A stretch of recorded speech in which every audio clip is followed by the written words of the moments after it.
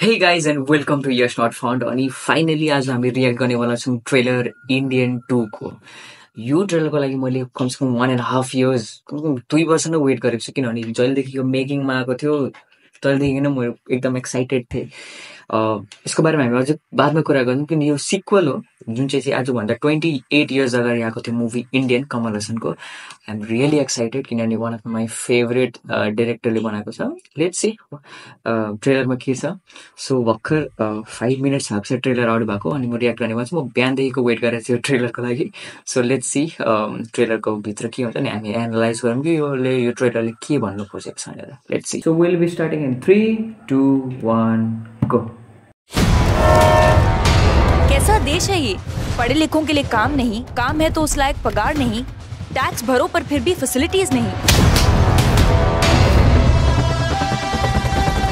चोर चोरी करता ही रहेगा, अपराधी अपराध करता ही रहेगा।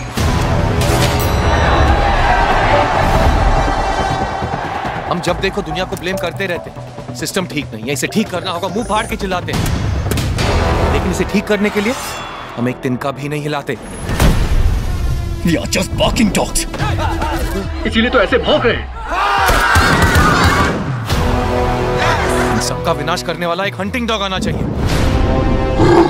पर क्या ऐसा कोई है एक था Hindustani name Senapati. Freedom fighter.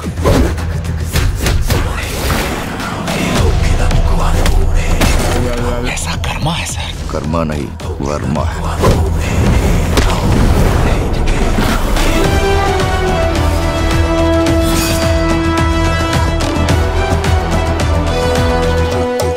उन्हें वापस आना है।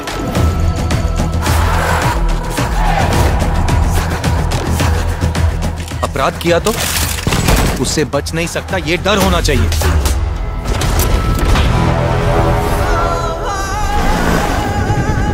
मेरे करियर में एक ही केस अधूरा छूट गया था।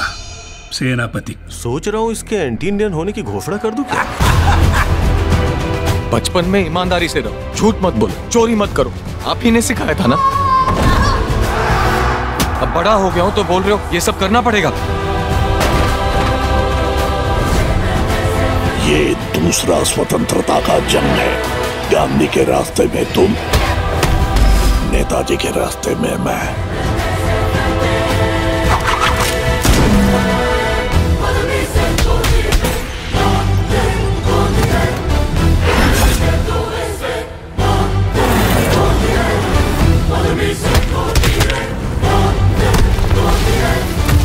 न पाओगे, चुप न पाओगे। टॉम एंड जेरी का खेल शुरू हो गया अभी।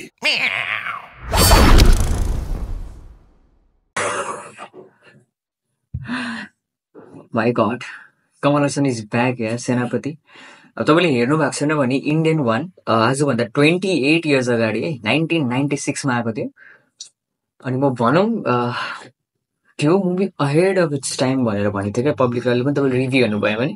त्यसमा चाहिँ इन्डियन करप्सनको बारेमा भनेको छ जो चाहिँ एउटा पहिलाको फ्रिडम फाइटर चाहिँ मतलब फ्रिडम फाइटर फेरि कसरी चाहिँ आफ्नो पहिचान लुकाएर चाहिँ कसरी चाहिँ इन्डियालाई चाहिँ अझै त्यो करप्सनको बाहिर निकालेको छ त्यो एउटा स्ट्रेन्जर मान्छेले चाहिँ त्यसको बारेमा ल्याएको छ। अनि पछि पुलिस केसहरू पनि हुन्छ त्यो मुभीभित्र लास्टमा पनि त्यो इन्डियन अब त्यो पक्रिँदैन। अनि म भन्न चाहदिनँ कि एन्डिङमा के हुन्छ तपाईँ हेर्नुहोस्। अन्त finally after twenty eight years यार कमल हसन।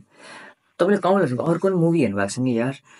यस्तै हुन्छ क्या प्रोस्थेटिक्स मेकअप मल्टिपल क्यारेक्टर्स अनि यो मुभीमा पनि त्यस्तै देख्नुभयो। तपाईँले देख्नुभयो होला यार। जस्ट मैले बहुत सानोमा हेरेको यो मुभी जब रिलिज हुँदाखेरि त म सायद जन्मेको पनि थिइनँ होइन? तर मैले सानोमा चाहिँ टिभीतिर हेरेको मुभी अन्त आज मैले जब यो ट्रेलर हेरेँ यार।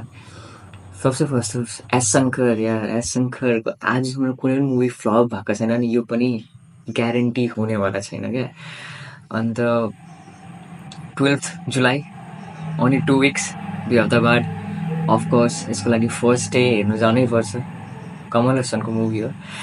एन्ड जस्ट यार mind blown nice it was मेरोमा वर्ड्स नै छैन क्या ट्रेलरको लागि जस्ट इमोसन छ जसले चाहिँ पहिलाको पार्ट वान हेरेको छ र यतिसम्म वेट गरेको छ त्यसको लागि चाहिँ यो मुभी एकदम इमोसन हो। इन्डियन टु अब तपाईँले अरू भाषामा हिन्दुस्तानी टु अनि भारतीय भारतीय भनेर पनि भनेको छ। अनि यसरी तिन चारवटा ल्याङ्ग्वेजमा छ अनि वर्ल्ड वाइड मेबी दसदेखिको बाह्र हजार स्क्रिन्समा रिलिज गर्ने चाहिँ ठानिएको छ। र let's see I'm really happy for this अनि तपाईँले यसको ट्रेलर हेर्नु भएको छ भने प्लिज म कमेन्टमा पनि पिन गरिदिन्छु। अन्त त्योभन्दा म डिस्क्रिप्सनमा पनि हालिदिन्छु। प्लिज गएर हेर्नुहोस् होला Indian टुको trailer must watch and yeah अनि यस्तै टाइपको अझै तपाईँलाई भिडियोज हेर्नु मन लागेको छ या तपाईँ रिकमेन्ड गर्नु सक्नुहुन्छ कि? मुनिपट्टि मलाई यो भिडियोज हेर्नु छ। या फिर तपाईँ यसमा यसमा रियाक्सन गर्नुहोस् भने अफकोर्स म त्यो पनि गर्ने भएको छु। Yeah I know views down छ धेरै दिन भिडियो नहालेर I know but what to do so Uh, till then uh, keep watching Yash Not Found.